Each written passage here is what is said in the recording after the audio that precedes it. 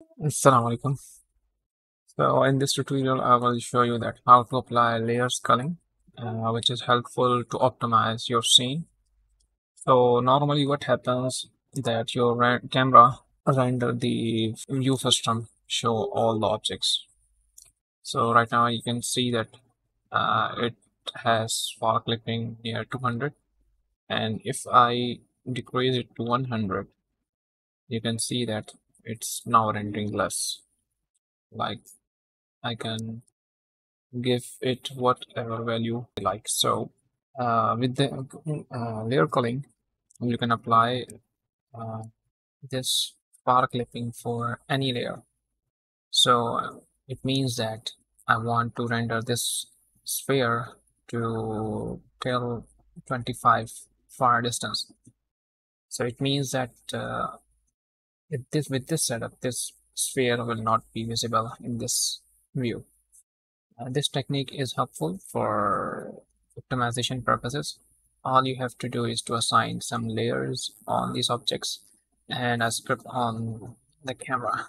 So let's apply some layers culling here. So go to layers at I can call it to small. And I can also call it large. So on the sphere I want to apply the small object small layer. While on the cube I want to apply the large layer. And one more thing I want to do is to let's click on my main camera. So let's call it layer culling while it's opening. I want to show you this layer culling distance demo. So using this code snippet we can apply this culling to our camera. So what is this code snippet is doing is just getting the camera component.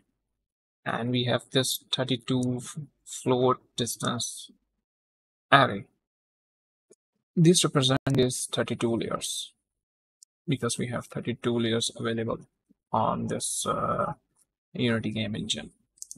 Now on the 10th layer uh, it's applying 15 distance which means it's 15 far clip uh, in the last line it's just assigning this distances to this uh, layer running this as value array so let's copy this and uh, and we are not using the 10th layer. We are actually using the sixth and seventh layer. So we have to apply sixth and seventh. Six and I can say that the this should be rendered at 50 distance. Seventh layer which is our large layer I want to render it from the 100 layers for more clarity I can add this to some public variable.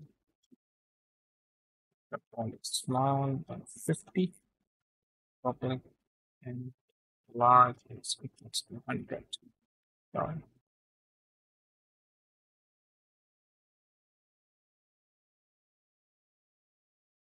now you can see that currently we are on the editor mode so all the objects are rendering. Now if I run this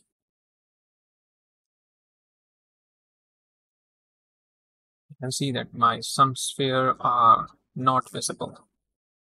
So if I lay off you can see that these spheres are not visible because the this layer culling is applied and it will not render until the 50 distance. And you can see that the large is also uh, visible.